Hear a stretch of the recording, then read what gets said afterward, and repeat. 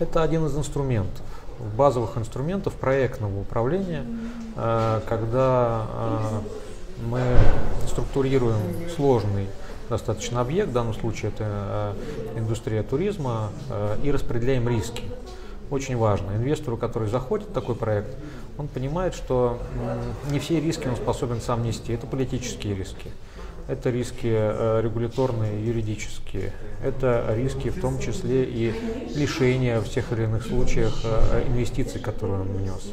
Да, такое тоже случается у нас. Вот э, наличие хорошего, продуманного соглашения, которое строится прежде всего на хорошей, на нормативно-федеральной законодательной базе, оно дает ему гарантии. То, собственно говоря, ради чего хороший инвестор, профессиональный, квалифицированный, готов рисковать, понимая, что он обеспечен нормативными регуляторными гарантиями. Хочется пожелать э, не терять тех темпов, которые вы набираете, э, и больше плодотворно работать. Вот как бы, собственно говоря, рецепт успеха именно в этом. Вам нужно убедить федеральные власти, э, что у вас очень хорошие потенциалы будущее.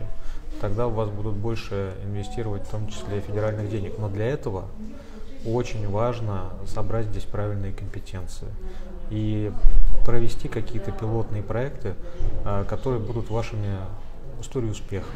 То, что можно будет презентовать а, и показывать как вот успешную практику, которую нужно и можно тиражировать. Я вам желаю в этом успеха. Мне кажется, что все должно получиться. Спасибо.